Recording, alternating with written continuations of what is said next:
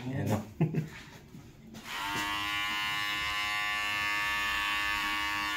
Hello everyone. Back Hello everyone. Back ulit ito. After how many years? Five ano? Mm, once naman lang? Oh. 2019 nga last. Ah, yeah. Um, Sakbay ag uh, lockdown.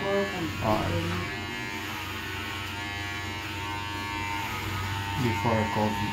Yeah.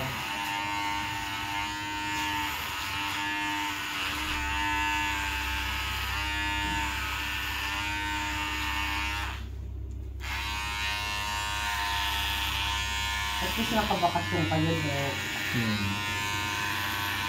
after five years. Nakita niyo ulit. Awan nagbaliwan na. Oo. So, kaila ayan na.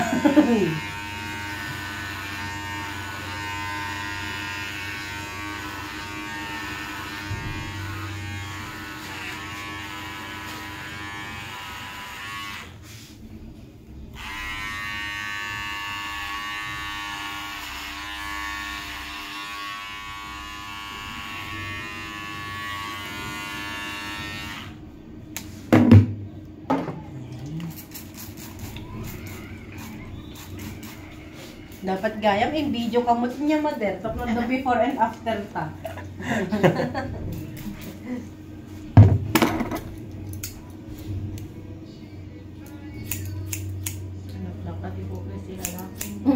Dadas.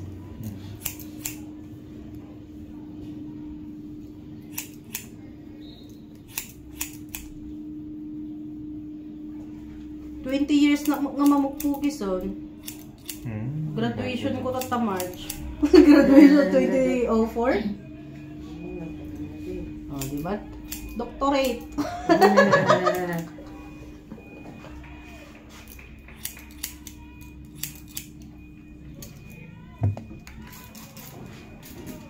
Professional. Professional. Oh, di ba? Kailangan mo yung Hirama mo pa yung training ko. 22 years. yeah, mamukis kami every barangay ito.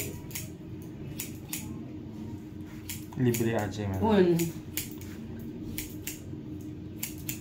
Atay kwado, pila-pila every barangay. Dagiya, dagiya no ay ayam me sa papanang.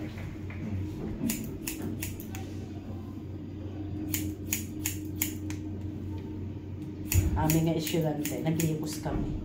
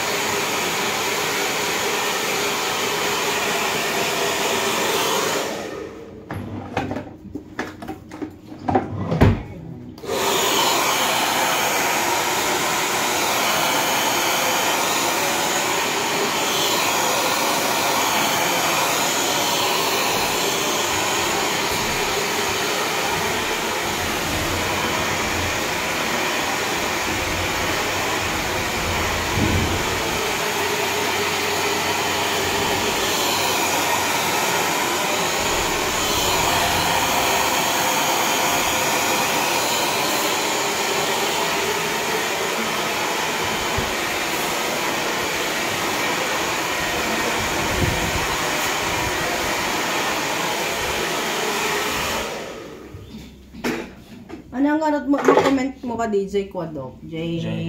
Gluta, J inject. Di ba nag-viral Ah. ni Mariel? Awen ano. Mhm. Anya ba Jing inject na glutawan no vitamin C? Vitamin C ka nung yung punadang uh, kuha, pang kuwamot lang. Wow. Yung vitamin C, awang problema. Hmm.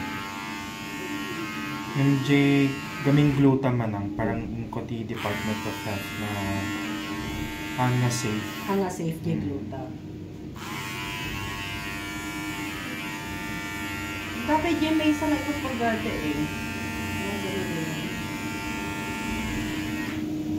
Kung nada ko Check nga na ako na wakwa. Tapos nang ining ko ada iti Kalman, iti dermatologist, nag-explain.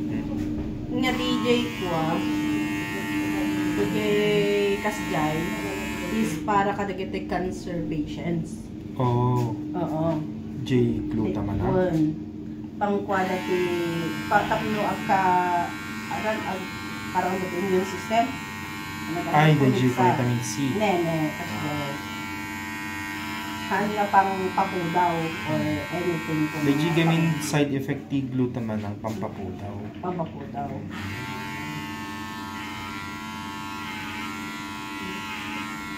May sa ko ano doktor eh.